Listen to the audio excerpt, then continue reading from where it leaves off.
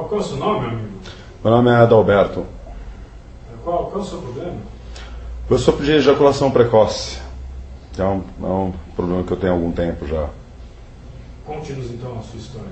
Quando eu comecei a namorar a Thaís, ah, quando a gente começou a ter relação, eu tinha uma certa dificuldade em, em conter o meu prazer. E foi um grande choque, eu estava muito apaixonado por ela e depois de duas semanas ela me deixou. Aí eu conheci, aí eu conheci a Silvinha, uma grande paixão, essa garota de Osasco. E também depois de alguns dias, quando a gente começou a ter relações sexuais, também tinha dificuldade em, em conter o meu prazer e ela também me deixou. Aí eu conheci a Vanessa. Tem um papel, por favor? É. Maquiagem, maquiagem. Só um segundo, amigo.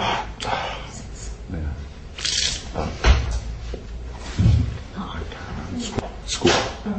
É, Você você quer, você quer um café para relaxar um Por favor, pouco? Vamos dar um tempo? Por favor, desculpa. Tá, então, traz, traz um cafezinho, por favor. É muito constrangedor, né?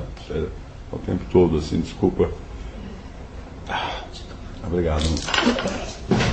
Ah, desculpa, desculpa. Você tá bem? Ai,